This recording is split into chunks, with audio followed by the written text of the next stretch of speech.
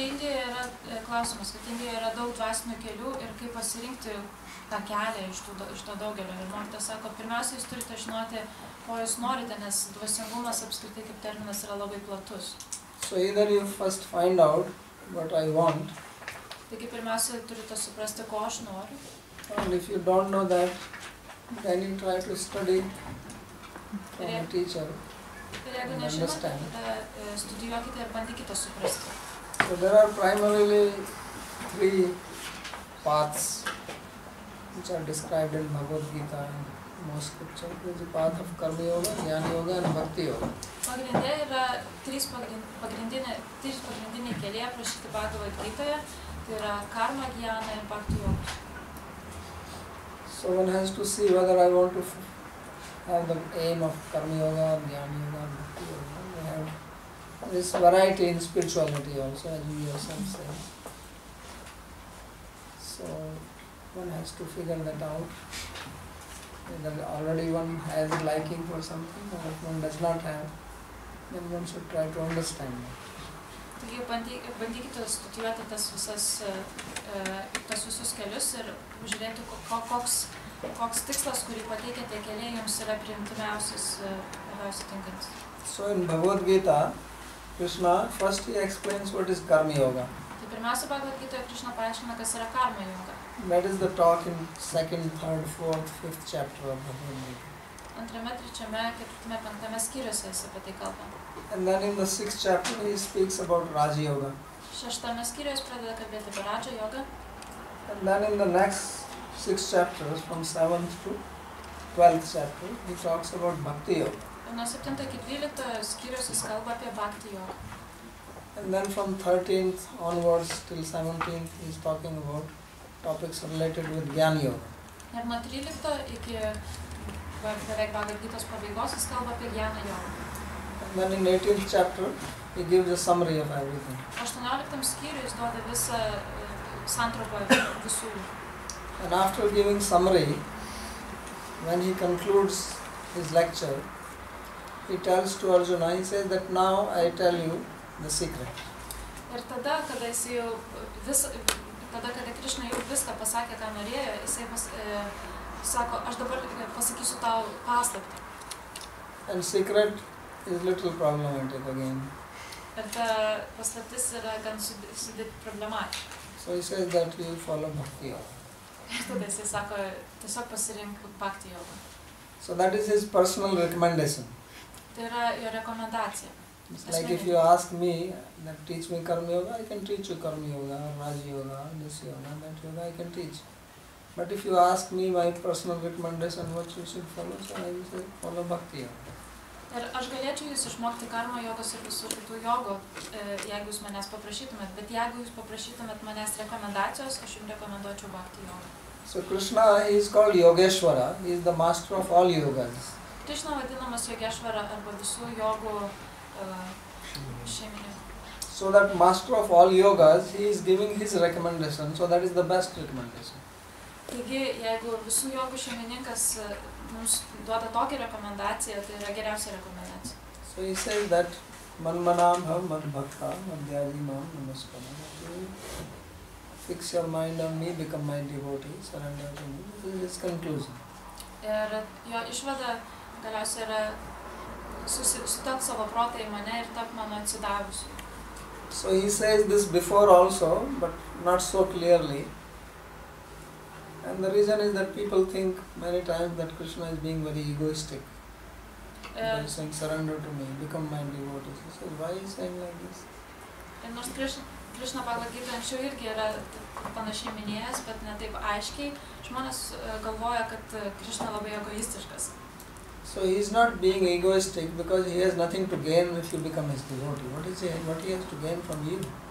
E, Krišna iš tikrųjų nėra e, visai egoistas, nes ką jis gali iš jūsų gauti iš tikrųjų. So out of compassion he is revealing the secret to us, but out of our ego we don't want to accept. E, Tik iš savo užuojautos mums jisai atskleidžia tą paslaptį, ką- ko mes turėtumėm sekti, E, bet mes iš savo užsispyrimo nenorime priimti. So our real problem is our material ego. Taigi mūsų tikroji e, problema yra mūsų materialus ego. Basically, the cause of all suffering is that I want to be independent of God. Taigi visų mūsų kančių priežastis yra ta, kad mes norime būti nepriklausomi nuo Dievo. Ego means that I want to be independent. Ego tai reiškia, kad mes norime būti nepriklausomi. Right? That's why we always aim for freedom. Ir tada mes visada siekiame tos laisvės. That freedom is happiness. Uh, uh, Reiškia laimę. But then we also want love, Bet mes taip pat norime meilės. and love is a bondage. O meilė yra, kuri mus suriša. Right? Mhm. Love is a bond. Tai yra tas ryšys. So this is the paradox of human life. Tai yra žmogaus gyvenimo paradoksas.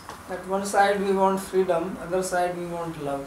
Iš vienos pusės mes norime laisvės, o iš kitos pusės norime meilės. Because without love there is no life. Nes be meilės nėra ir gyvenimo, gyvybės. And without freedom there is no happiness. O be laisvės nėra laimės. And love seems to be against that freedom. Ir atrodo, kad laimė yra tarsi prieštarauja laisvai. So people therefore are very much scared of love. Ir taip žmonės atrodo yra lab, labai bijo tos meilės. On one side it looks like that everybody is looking for love, but if someone really falls in love then they become also scared. Ir iš pradžių atrodo, kad visi ieško meilės, bet tik jie įsimylė, jie iš karto pradeda to šalintis. And they say just give me a little space, Duokit man truputį erdvės, jie sako. don't encroach over my freedom. Nepasimk mano visos e, nepriklausomybės. So because the material love is different and spiritual love is different. Bet e, dvasinė ir materiali meilė jos skiriasi. So in spiritual love there is freedom and no bondage. E, Dvasiniai meiliai yra vien tik laisvė ir, ir jokio surišimo. Material love is a bondage. O materiali e, meilė suriša. So this was the problem of Arjuna.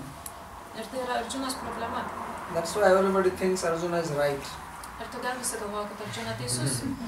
Because we have concept only of material love. So they say, what, what is wrong? Arjuna is right. Ir todėl, kad mes turime vien tik tą ma- materialios meilės supratimą ir sakome, tai kas čia, tai Arjuna teisus. But that so-called his love for his fellow beings, his relatives, that is what is causing him dejection.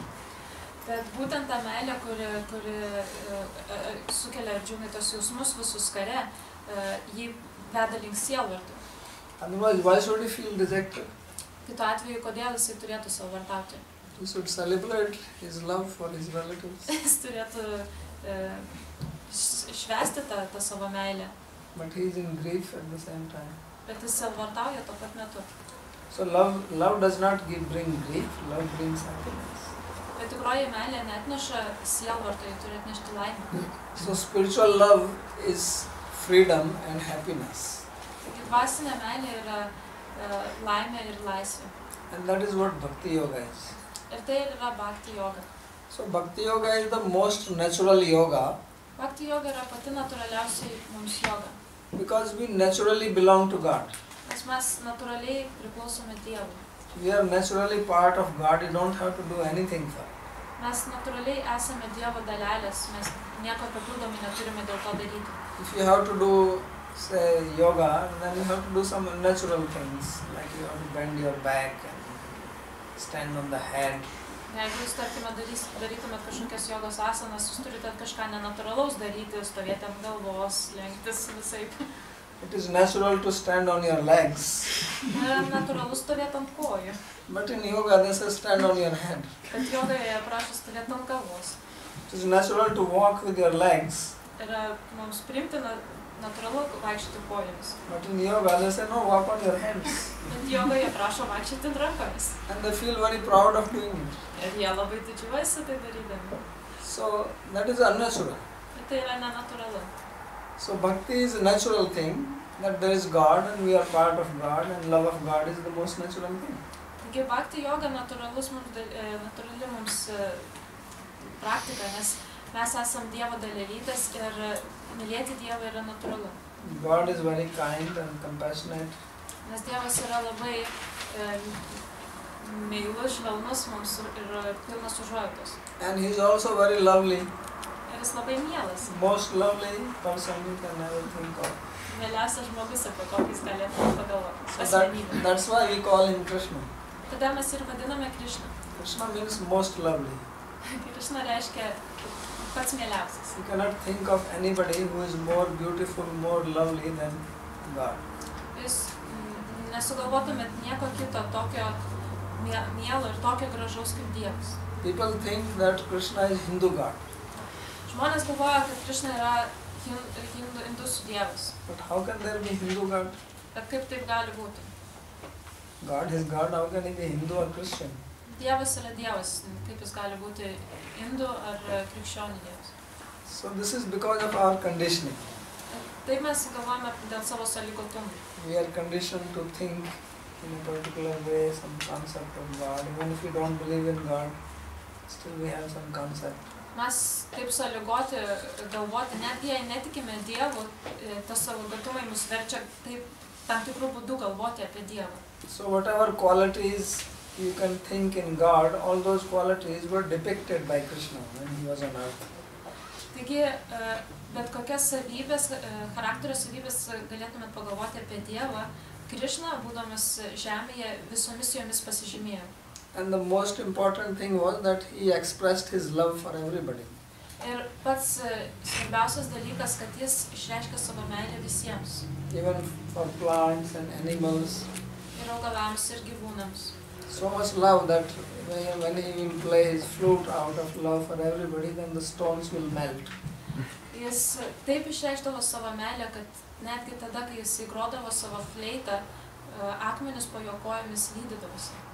So this may sound something like imaginary, but actually there were places in Vrindavan still existing where his footprints are there. When he was standing and the stone melted and it had the impression of his feet.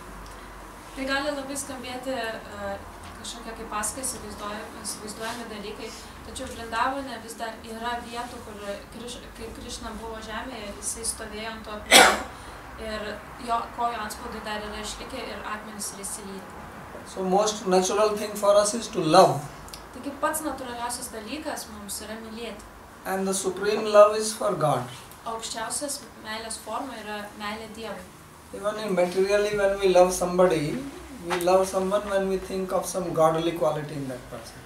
Netgi materialiam pasauliu, kai mes apie ką nors gal, galvome, kai ką nors įsimylime, mes įsimylime jame tai, kas yra tos dieviškos savybės. So, if you really love even materially somebody, that person looks little bit God to you, divine. Netgi materialiai įsimylėjus, žmogus jau šiek tiek atrodo dieviškas. Right? You don't see any defect in that person, Jūs net nematome jokių e, trūkumų tame žmoguje. at least for some time. Kažkuriam laikui bent. Once you start living with that person, then it's a different story. Jeigu jūs pradedate gyventi su to žmogum, pasikeičia istorija. But as long as the hormones are flowing for a few weeks, then that person looks just like God. Bet kelioms savaitėms įsimylėjimo metu, kai hormonai mūsų užvaldė, tas žmogus atrodo mums labai dieviškai. Because we cannot love anybody else except God. Bet iš tikrųjų mes negalime nieko mylėti apart Dievo. So whenever we love anything, then that is only because there is some reflection of God in that person. At least you imagine or you see something like. Taigi, kai ką nors mylime šiame pasaulyje, tai yra tik tais atspindys e, to, to, tų dieviškų savybių. Otherwise, we are all searching for God only unknowingly. E, iš tikrųjų, e, mes visi ieškome Dievo, tačiau nežiniomis nesuvokdami. But we all end up frustrated E, bet visi mes e, baigiame tai neviltie nusivylę, because our search does not reach its real aim. Nes mm, mūsų paieškos vis niekada nepasiekia to tikslo. And this search will continue till you reach God. Ir visos tos paieškos jos tęsis tol, kol mes iš tikrųjų pasieksime Dievą. Because nobody can be fully satisfied without God's love. It's Ne- not possible. Nes niekas e, niekada negali būti pilnai patenkintas, nepasiekęs Dievo. So people can try all types of. That, that's why they're trying, you know, go for bungee jumping, scuba diving, Todėl žmonės šokinėja su tomis pančia čia su tom gumom, kur nuo, nuo tiltų, e, nardo. Then when they come back, then again they are frustrated. Bet jie grįžta po tų savo nuotikių ir jie vėl yra nevilti. Because how much bungee jumping can you do? Kiek jūs galite čekinėti nuo tiltų? nu, ta prasme, su gumom. So the perfect satisfaction can come only from love. Taigi e, tas to, tokios pilnas pasitenkinimas gali e, ateiti tik tais iš meilės Dievui. So this is also the message of Jesus. Tokia pati žinutė yra ir Dievo. Tai yra Jėzus. Ultimately this is the message. Whether you understand it or not, but this is the only message. Tai yra iš tikrųjų, e, tai yra vienintelė jo žinutė mums, mes tai suprantame ar ne. So therefore this is surrender to Jesus. Islam also surrender. The word Islam itself means surrender. E, Žodis islamas pats savaime pažodžiui yra atsidavimas. The word Islam means surrender. E, Islamas reiškia atsiduoti. These things are not understood properly. Šie dalykai iki gal pilnai nėra su, suprasti. And then in the name of God we are just creating violence. Tada Dievo vardu žmonės tik tais uh, sėja žiaurastį. So therefore Krishna says that the highest yoga is the yoga of love, that is bhakti yoga. Ir taigi Krišna sako, kad aukščiausia joga yra meilės joga, o tai yra bhakti joga. So if you want to choose spirituality, then follow the path of bhakti yoga. Taigi jeigu jūs norite pasirinkti kažkokį dvasinį kelią, pasirinkite bhakti jogą. Don't waste time with other things. Nešvaistykite laiko kitiems Life dalykams. is limited Mūsų uh, laikas čia labai ribotas. and you cannot just go on experimenting with this and with that. Ir uh, nešvaistykite laiko eksperimentuodami. Get to the business seriously. Imkitės rim, rimtų reikalų. Because we don't know when the life will end. Nes mes nežinome, kada gyvenimas baigsis.